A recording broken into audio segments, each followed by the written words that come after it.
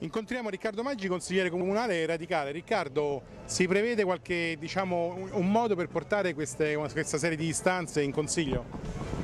Ma in realtà in Consiglio le istanze già ci sono arrivate, il problema grosso intanto è purtroppo un problema di emergenza, nel senso che eh, non ci sono i soldi per i servizi sociali, in particolare anche per persino per l'assistenza domiciliare a disabili gravi, gravissimi, oltre eh, il mese di ottobre. Eh, l'impegno che noi abbiamo chiesto alla Giunta, anche come maggioranza, eh, è quello di reperire immediatamente, prioritariamente questi fondi, ma neanche mese per mese, perché non è possibile chiaramente andare avanti mese per mese, ma almeno intanto fino alla fine dell'anno, in modo da lasciare veramente respirare le, le famiglie che già vivono, i, i, cittadini che già vivono situazioni di, di disagio enorme. Quindi il sostegno a questa manifestazione da parte mia, da parte nostra c'è tutto, è una manifestazione che chiede una regolarità e una, mh, non una precarietà dell'erogazione dei servizi. Poi subito dopo si può affrontare il tema dei modelli di erogazione dei servizi. E infatti proprio questo ti volevo chiedere, secondo te questo sistema dei servizi erogati tramite le cooperative è un sistema che funziona valido o è in crisi solo per la questione diciamo, di crisi economica? Vabbè, questo è il vero eh, grande problema diciamo, strutturale del modello di erogazione dei servizi. Eh, noi l'abbiamo sempre detto, siamo con l'associazione Coscioni, con l'associazione la, la, per la vita indipendente, siamo per favorire eh, una graduale conversione a quella che oggi viene definita eh, con una formula che non, non, non ci piace, non, non è molto chiara, l'assistenza indiretta, cioè la possibilità per l'utente, la possibilità per il cittadino di eh, avere effettivamente una vita più indipendente e più autonoma e quindi di poter lui decidere a chi eh, assegnare, a quale persona, a quale eh, professionalità assegnare la propria assistenza. Ricordiamolo, quella gestita dal comune non è un'assistenza sanitaria, è un'assistenza domiciliare diciamo, in senso ampio, in senso lato. E quindi noi siamo per questo modello e tenteremo anche di fare in modo che ci sia innanzitutto un'informazione su tutte le famiglie, su tutti gli utenti che c'è la possibilità di utilizzare questo modello, che è un modello che oltre ad avere la prima grossa virtù, cioè assicurare una maggiore autonomia, un maggiore sviluppo della vita indipendente appunto dei cittadini, eh, implica anche un risparmio, perché effettivamente diciamo, eh, si potrebbero eh, garantire servizi con questo modello a più persone di quelli che oggi sono servite da, dal Comune di Roma. Grazie Riccardo Maggio, a questo punto buon lavoro. Grazie. Grazie per essere qui, ospitata del Campidoglio, per ricordarci che se abbiamo vinto le elezioni l'abbiamo vinto nel segno di una parola, che è discontinuità, cambiamento, perché ognuno di noi ha fatto fatica negli ultimi cinque anni, chi a sostenere i servizi e chi a usufruirne. È tutto vero quello che ha detto Claudio, io sono stata con Social Pride da subito, sia quando era il momento di protestare,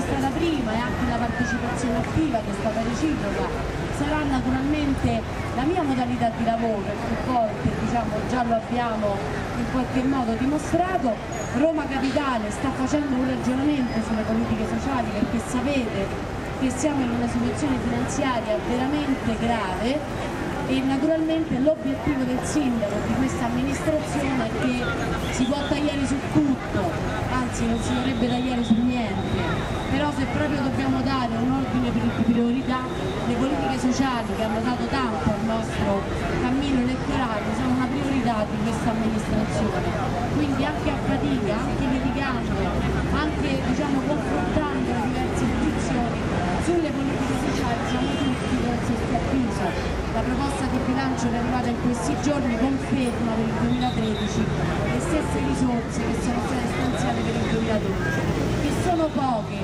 però a noi esattamente ci hanno consentito in qualche modo di venire in piedi la rete dei servizi. Sono i ritardi di pagamento che hanno messo in croce diciamo, tutto il mondo associativo e cooperativo. L'obiettivo della costruzione Marino è far tornare la città ad essere una città normale, dove il bilancio si fa a febbraio, dove si fa la manovra correttiva a giugno e dove eventualmente si vede il terzo anno si può arrivare a novembre per votare il bilancio di un anno che è già finito, che è quello del 2012. Questa difficoltà naturalmente la affronteremo insieme, adesso c'è la nostra delegazione che sta su con l'assessore Putini, ma il metodo che ci dovremmo dare una volta usciti dall'emergenza è quella di un tavolo dove le politiche sociali vengono in qualche modo riprogettate insieme. Noi abbiamo bisogno di ottimizzare le risorse, ma abbiamo bisogno anche di rispondere a nuovi bisogni nella precedente amministrazione non hanno avuto le risposte adeguate. Io ci sarò, come ci sarete voi, facciamo rete e lavoriamo insieme perché la città è di tutti, se tutti sono protagonisti attivi del cambiamento che noi tutti desideriamo. Grazie. Allora grazie a Erika che si espone, prego. E Buonasera, sono la mamma di un ragazzo down di 17 anni. Vorrei dire a Erika che i finanziamenti che, sono- che ci sono stati dati nel 2012, se ce li ridanno anche nel prossimo anno, ormai erano stati dimezzati dal 2008 che è stato dimezzato il fondo delle politiche sociali. Quindi o lo reintegrano e ce lo ridanno come era prima del 2008, oppure i servizi continueranno a essere tagliati. Quindi io che sono una mamma non è che mi sento l'ultima ruota del carro come figlio. Io penso che noi sul carro ancora non ci siamo saliti. Erika lo sa perché lei le sue battaglie, a prescindere dal cognome, le ha fatte vicino a noi. Io l'ho vista a Montecitorio quando protestavamo, non, non- non mi ricordo neanche per che cosa, per tutte le cose che siamo... Eh, per, per- per il fondo della non autosufficienza, che anche quello non tagliato, è stato azzerato.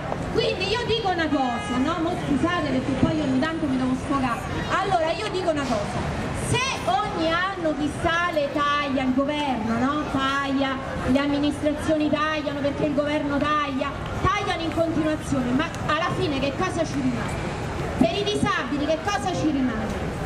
Quindi io dico una cosa, facciamo rete, mi sta bene, cerchiamo di essere uniti perché poi il mondo della disabilità è troppo spaccato, spaccato, non si va da nessuna parte, quindi cercate di fare gruppo, di compattarvi, di capire che l'unica strada è quella in ogni caso della protesta, perché chi sta zitto viene soppresso, punto.